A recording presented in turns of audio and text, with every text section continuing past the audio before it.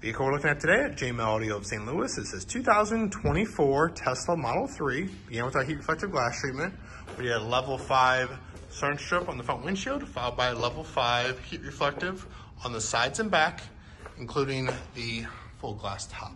If we'd be of assistance to you, let us know anytime through our website, which is jmlaudio.com. Be sure to like and subscribe to our YouTube channel for upcoming vehicles. Thank you so much for watching, and we'll see you next time.